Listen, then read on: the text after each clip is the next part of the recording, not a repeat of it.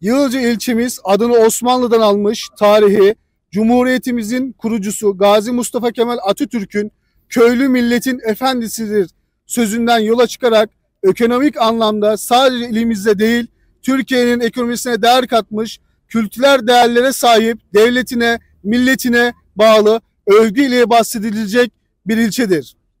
Ne yazık ki ismini bile anmak istemediğimiz Cumhuriyetimizin kurucusu ve değeri olan Gazi Mustafa Kemal Atatürk'ün kurduğu CHP'den milletvekili seçilen ve Düzce'ye dayatma olarak ithal milletvekili olan zat ilçemiz halkını küçük görerek açık, aşağılayarak hakarette bulunmuştur.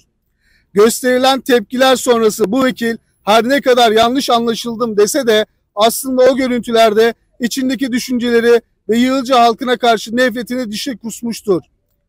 İnsanın fikri neyse zikri de odur. Ancak yapılan açıklamalar sonrası bu konuşmaya alçık alkış tutanları da şiddetle kınadığımızı ifade etmek istiyoruz. Gericiliğin, yozluğun, yobazlığın koz gezdiği bir yerde demek ne demek? Olur da bu kadar talihsiz bir hakaret olamaz, olmaz. Yığılca'yı tanımayan, Yığılca'nın ismini bile telaffuz edemeyen, Yığılca'yı bilmeyen milletvekili Talih Özcan bizleri yobazcılık, gericilikle suçlayıp tüm Yığılca'mızı küçük düşürmeye çalışmıştır. Bilinmelidir ki bizler ne yobaz ne gericiyiz. Sizlere bu cümleleri bir Yığılcalı olarak değil, 140 bin Yığılcalı olarak bu cümleleri sizlere iade ediyoruz.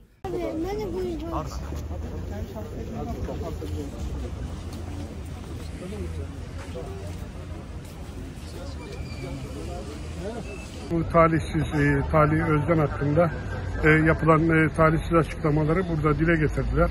Kınadılar. Ben e, burada Yağızcalıları, hemşerilerimize çok teşekkür ediyorum. Yağızcalılar asil bir millettir. Osmanlı'dan gelen, Orhan Gazi'den gelen her bir tarafı tarih kokan bir ilçemizdir. İlçemiz hiçbir zaman gericiliğe ve yobazlığa prim vermemiştir. Vermez de zaten. Ancak e, bildiğiniz üzere Türkiye'de bazı e, güruhlar bunu yanlış algılıyor, yanlış tanıtıyorlar. İlçemizde namuslu, dürüst ve ilçesini, ülkesini seven, milletini seven bir topluluk vardır. Bu yüzden e, biz e, bu söylemleri kınıyoruz ve lanetliyoruz. İldeki yaşayan e, Düzceli hemşehrilerimiz olsun, diğer illerdeki yaşayan hemşehrilerimiz olsun. Her taraftan tepki yağdı. E, ulusal ve yerel basında da bunlar hep konuşuldu. İnşallah bundan sonra biz bunları görmek istemiyoruz, duymak istemiyoruz. Biz e, bu Demirtaş'a, Kavala'ya ve Bölücübaşı, Appo'ya selam duranlarla hiçbir zaman yan yana gelmeyiz. Ancak bunu tabii ki CHP'nin tabanına veya seçmenine yaymamız mümkün değil. Orada da milliyetçi, muhafazakar ve devletinin milletine sahip çıkan bir CHP seçmeni vardır. Biz bunları kesinlikle onlarla bir tutmuyoruz ve aynı kefeye koymuyoruz. Ersin abi gel abi. Almana gerek yok.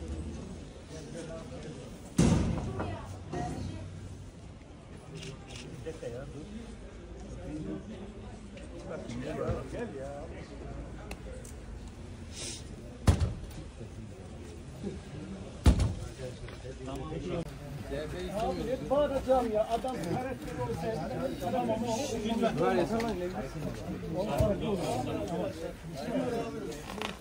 Ya yapma.